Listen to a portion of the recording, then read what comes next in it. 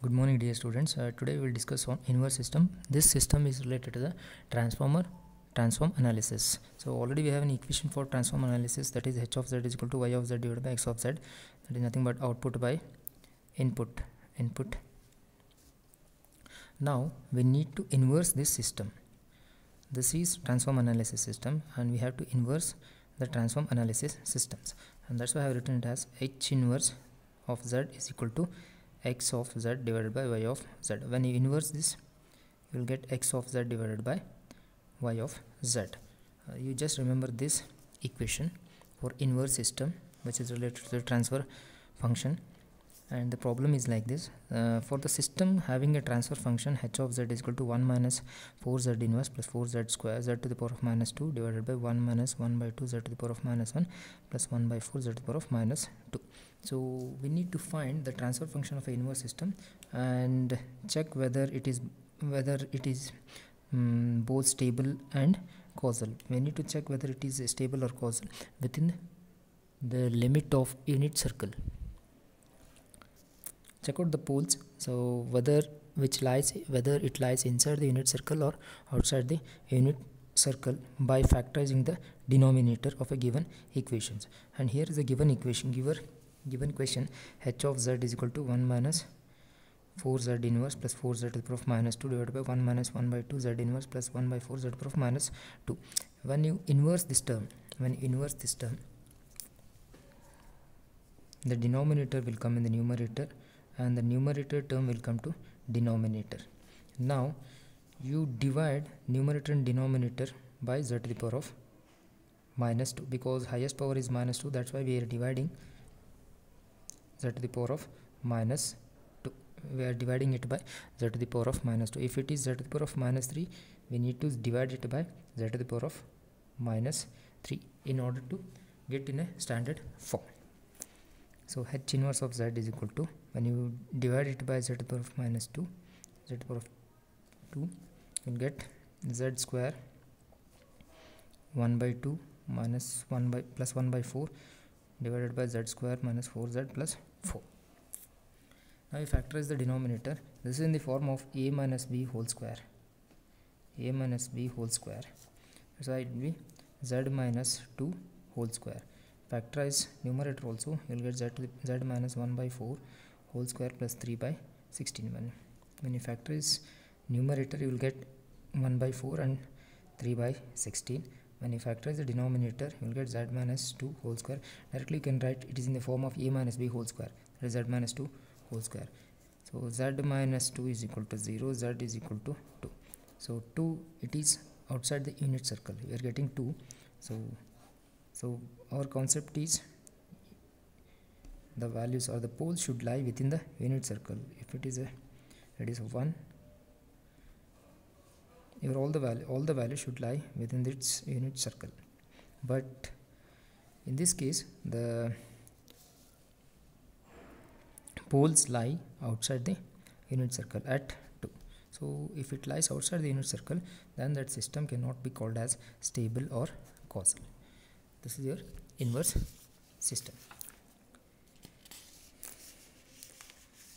Next is unilateral z transform. So till now you have studied about the bilateral z transform. That is a normal z transform is nothing but a bilateral z transform. And whose range is from minus infinity to infinity?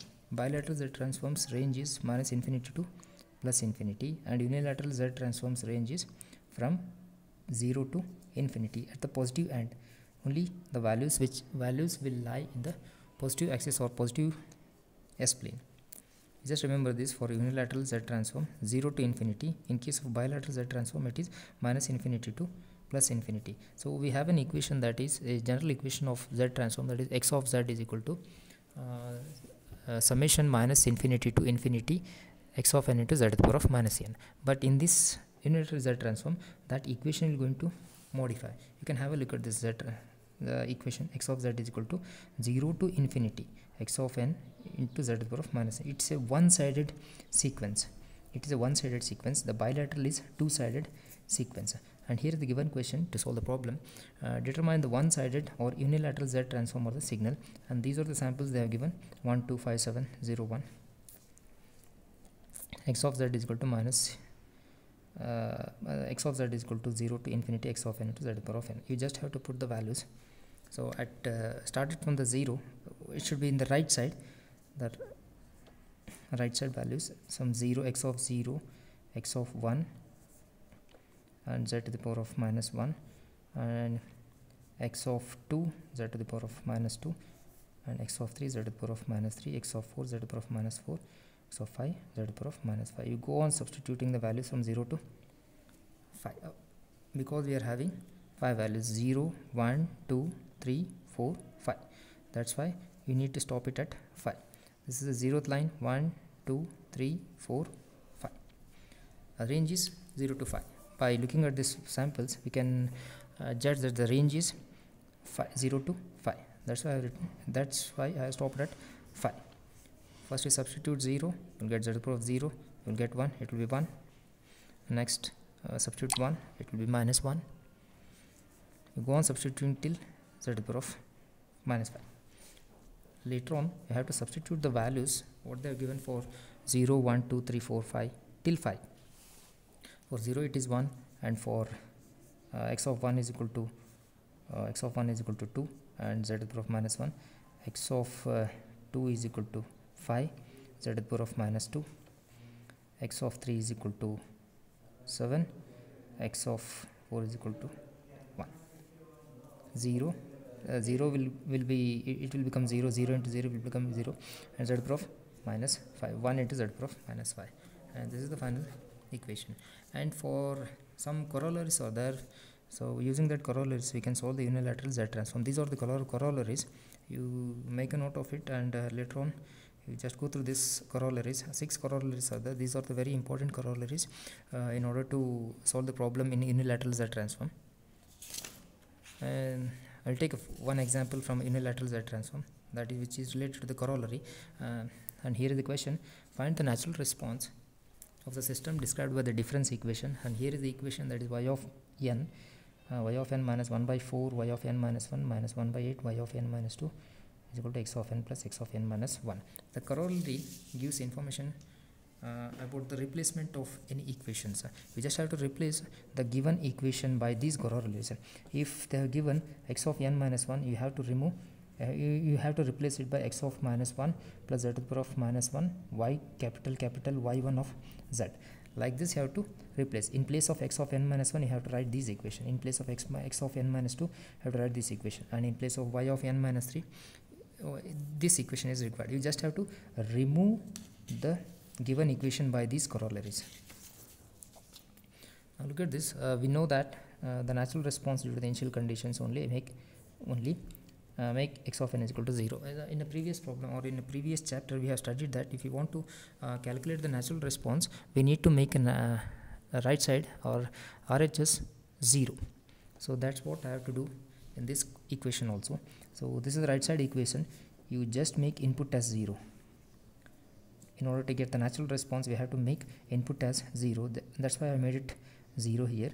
Uh, this will remain same y of minus n y of n uh, minus 1 by 4 y of n minus 1 minus 1 by 8 y of n minus 2 and the right right hand right hand side will become 0 now you take a taking a unilateral z transform. That's why that's what i told you. So when you take a unilateral z transform it will become y of n will become y of z and 1 by 4 y of minus y of n minus 1 here is the equation. Y of n minus 1 can be replaced by y of minus 1 plus z inverse y of z. That's what i have written it here. Replacement. It is just a replacement. In place of y of n minus 1 you have to write y of minus 1 z inverse y1 of z. Here is the equation. Here is the equation for y of n minus 1 for y of n minus 2 here is the equation. Y of minus 2 plus y of minus 1 z inverse plus y of z into z to the power of minus 2 that's what i did here. Uh, it is just a replacement by corollaries after replacing uh, you take y of z as a common.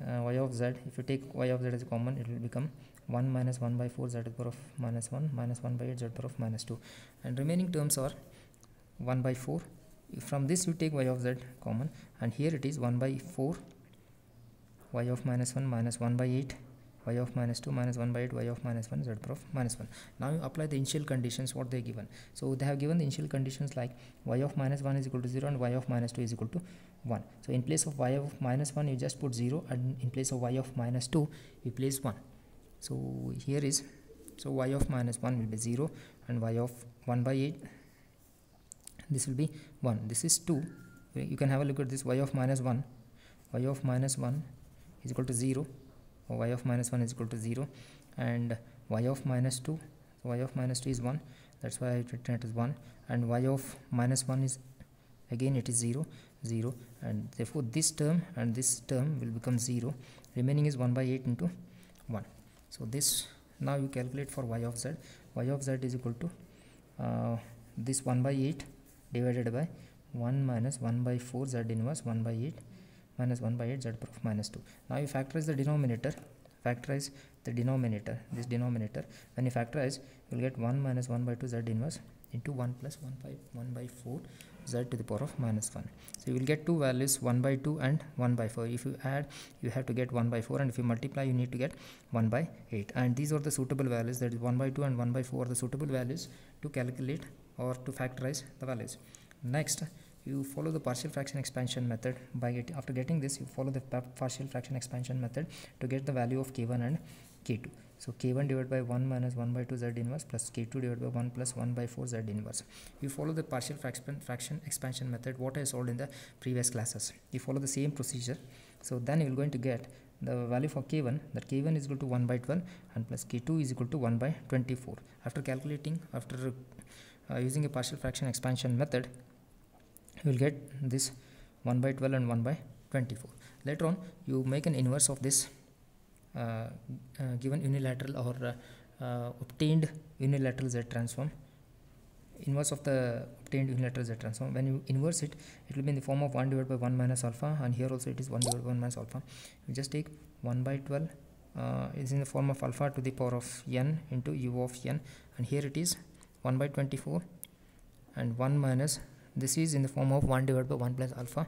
That's why I have written it as minus 1 minus 1 by 4 whole to the power of n into u of n this is about the unilateral transform uh, z transform. Uh, this finishes your z transform topic.